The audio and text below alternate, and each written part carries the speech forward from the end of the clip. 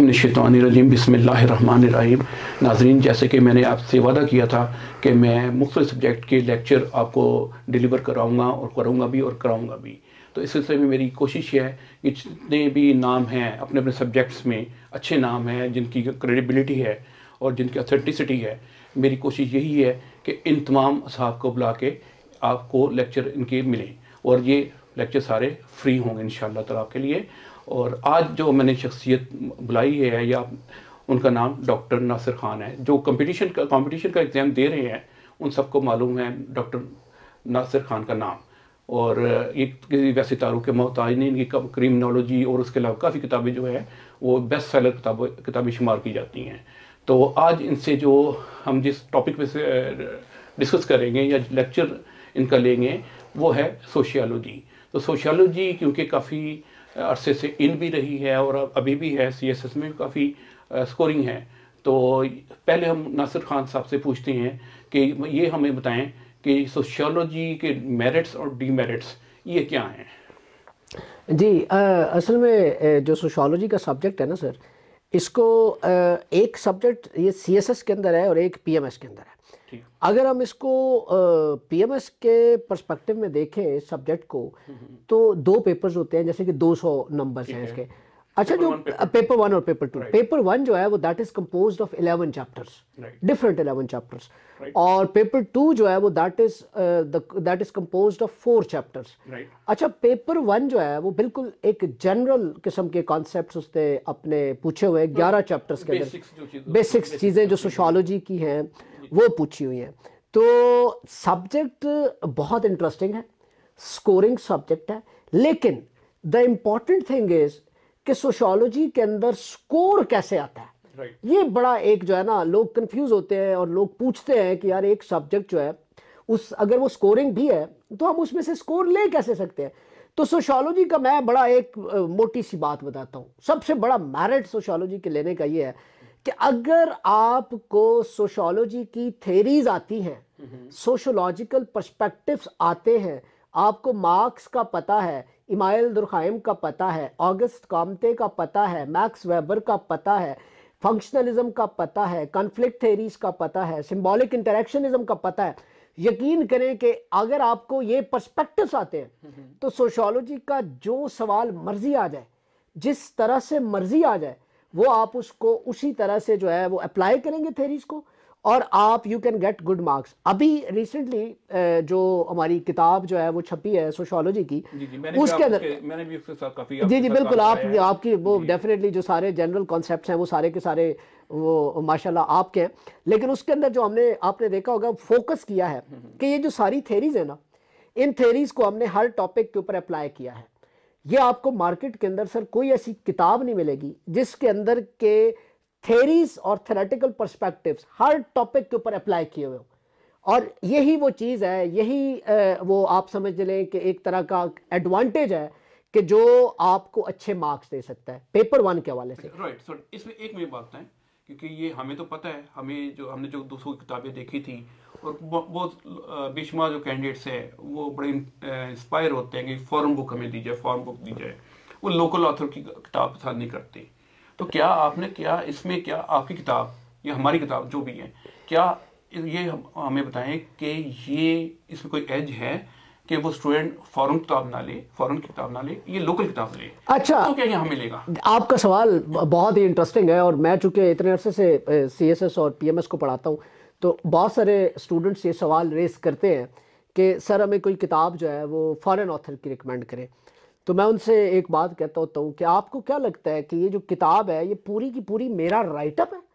मैं कहता हूँ, हरगिज़ ये हमारा राइटअप नहीं है। We are the editor of the books और हमने मुख्तलिफ़ किस्म के रिसर्च पेपर्स मुख्तलिफ़ किस्म की किताबें, जो कि एफ़ पी एस सी और पी पी एस सी की रिकमेंडेड बुक्स होती हैं उनको पढ़ के उसमें से जो रेलेवेंट इंफॉर्मेशन होती है, जो अपडेटेड इंफॉर्मेशन होती है, वो इंफॉर्मेशन हम इस किताब के अंदर इनकॉर्पोरेट करते हैं और उसको फिर हम पाकिस्तानी कॉन्टेक्स्ट के अंदर एग्जाम्प्लीफाई करते हैं।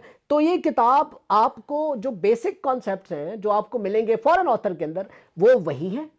इसके अंदर आपको इंटरप्रिटेशन टॉपिक की मिलती है related to the Pakistani context तो इसलिए फॉरेन ऑथर जो है, वो इसमें आप समझ लें कि मैं और इम्तियाज़ शाहिद साहब अगर एक किताब के जो है एडिटर हैं तो फॉरेन ऑथर भी उस किताब का अंदर शामिल है, क्योंकि उन्हीं के रिसर्च आर्टिकल्स उन्हीं की किताबों से रेलेवेंट इंफॉर्मेशन को हमने इनकॉर्पोरेट किया हुआ है किताब के अंदर और उसको एडिट किया है ताकि आपके लिए आसानी हो जाए। आपको किसी फॉरेन ऑथर के पास जाने की ज़रूरत ही नहीं है। राइट यानी कि जो भी हमारा कंटेंट है फॉरेन कंटेंट है जी, वो एप्लीकेबल जो हम पाकिस्तान की सोसाइटी के ऊपर कर रहे हैं जी जी। उसके बाद आपने उसको एप्लीकेबल करके आपने प्रेजेंट हम लोगों ने किया है। जी जी बिल्कुल जी जी बिल्कुल। और यही चीज़ है सी एस एस हो पी एम एस हो कोई भी कम्पिटेटिव एग्ज़ाम हो पाकिस्तान में तो उसमें सबसे इम्पोर्टेंट जो चीज़ समझी जाती है या दी जाती है कही जाती है वो ये पाकिस्तान के कॉन्टेंट्स में या कॉन्टेक्स्ट में सॉरी ये चीज़ होनी चाहिए।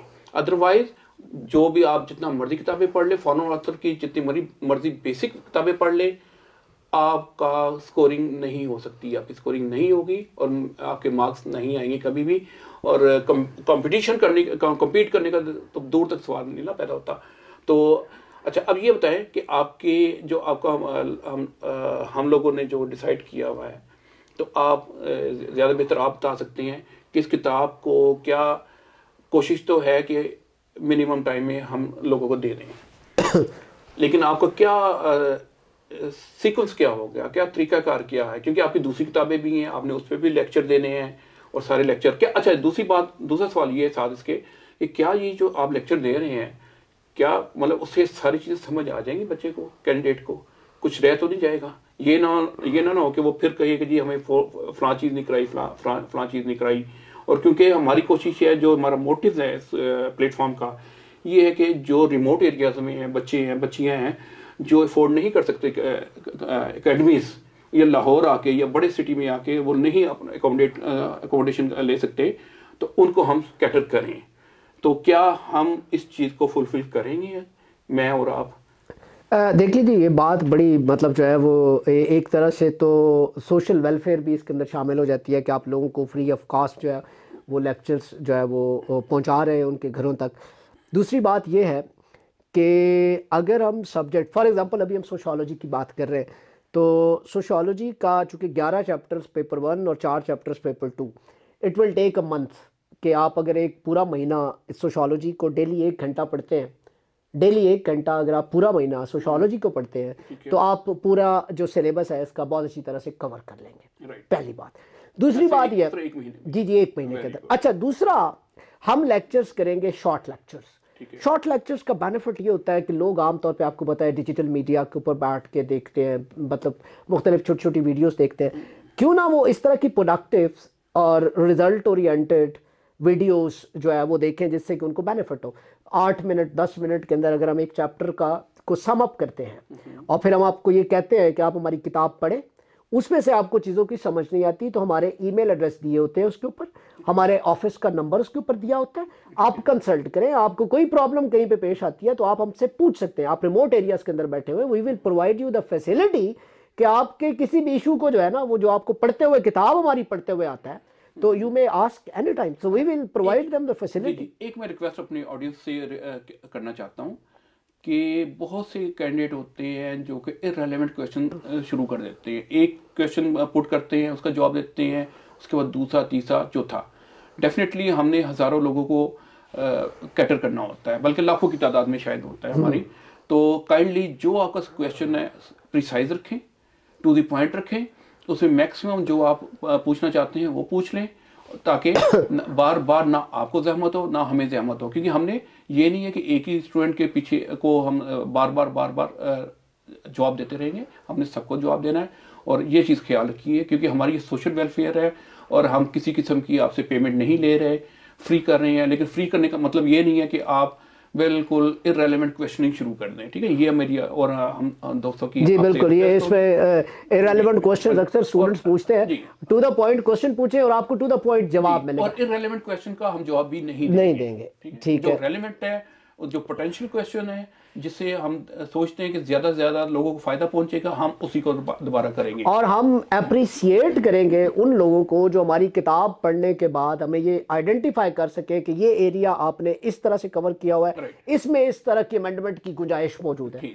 क्योंकि हम लोगों को अप्रिसिएट करते हैं जो हमारी कोई जो डेफिशेंसी है डेफिसिट है उसको जो है वो हमें बताते हैं। ठीक है। आज के लिए मैंने इतना काफ़ी इसके बाद हम डॉक्टर साहब के लेक्चर की तरफ़ जाएँगे। और आज उन्होंने सोशियोलॉजी भी देंगे लेक्चर और इसके बाद वो शायद क्रिमिनोलॉजी या कोई भी वो डिसाइड करेंगे जो भी सब्जेक्ट उसके बाद चार पाँच चैप्टर करेंगे, उसके बाद जितनी चार पाँच किताबें पाँच पाँच छः छः चैप्टर करने के बाद फिर दोबारा वापस सोशियोलॉजी भी आएँगे। इसके मजीद पाँच चैप्टर कराएँगे, या जितनी उनकी कैपेसिटी या जितनी उनकी मुनासब समझे, वो कराएँगे। इसके लिए जो भी आपको लेक्चर चाहिए मटेरियल चाहिए, शर्त ये है कि आप हमारे चैनल के साथ जुड़ के रहेंगे, और उसको सब्सक्राइब करें, उसको बेल आइकन पे क्लिक करें। फ़िलहाल इतना ही काफ़ी है। अल्लाह हाफिज़। Thank you